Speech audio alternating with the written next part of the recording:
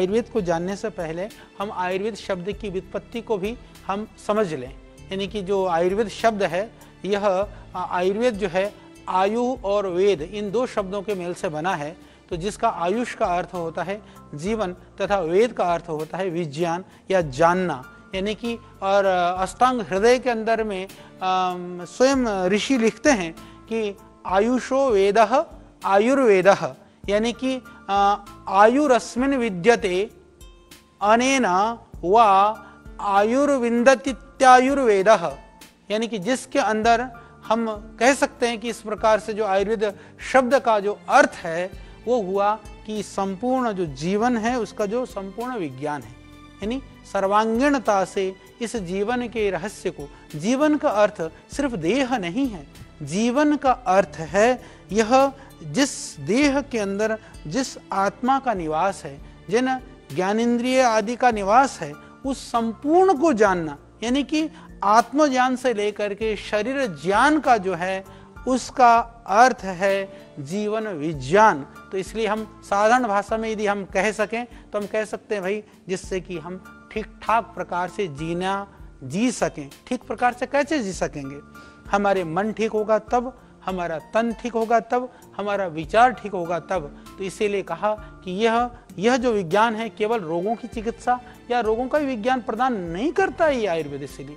जीवन को जीने के लिए सभी तरह के जो आवश्यक ज्ञान है, जो ज़रूरी है, वो सब हमें सिखाता है, हमें बताता है, हमको प्राप्त कराता है।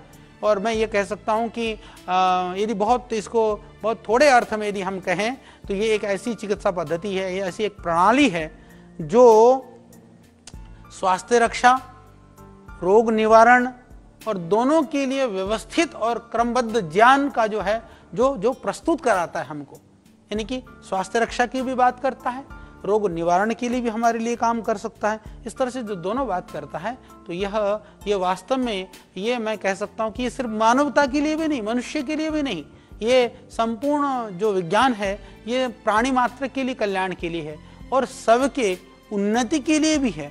और विशेष कर करके मैं कहूँ, कि मानवता के लिए तो शारीरिक, मानसिक व आध्यात्मिक सभी पक्षों पर जो प्रभाव डालने वाला है तो इसीलिए महर्षि चरक ने चरक संहिता नाम ग्रंथ में जो उन्होंने जो परिभाषाएँ दी हैं, आयुर्वेद की परिभाषा देते हुए वो बहुत ही गंभीरता के साथ, बहुत ही गहनता के साथ में वो कहते हैं कि हित आयु, अहित आयु, सुख आयु, दुख आयु, इन सब का जो वर्णन हो और उसके अंदर जो है, आयु के लिए जो हितकर हितकर मतलब जो लाभकारी है, जो पथ्य है और जो अहित कर है अहित कर को हम जो कहते हैं, जो अपथ्य है, ऐसे जो भी द्रव्य हैं, गुण हैं, कर्म हैं, इनका जो वर्णन हो, यानी कि सभी चीज़ का जो व्यापकता के साथ जिसमें वर्णन हो और जिसमें आयु का मान मान, आयु का मान का मतलब होता है, जिसकी प्रमाण है या अवधि है, उसको हम मान कहते हैं।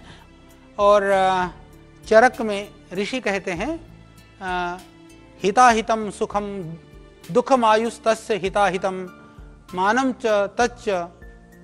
यतेन्द्र आयुर्वेद स उच्यते। इससे स्पष्ट हो जाता है।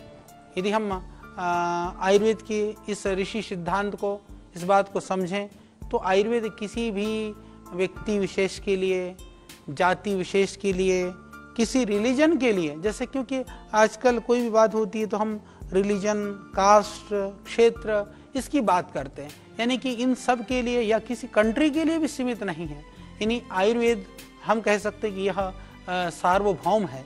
सार्वभौम का अर्थ होता है, जो सभी जगह लागू होने वाला है, सबके लिए है, जिस तरह से यह जीवन सत्य है, उसी तरह से आयुर्वेद का जो सिद्धांत है, नियम है, ये सभी स्थानों पर मान्य और ये सार्वभौम सत्य है। इसीलिए इसको शाश्वत सार्वभौम और सर्वजनीन कहा है।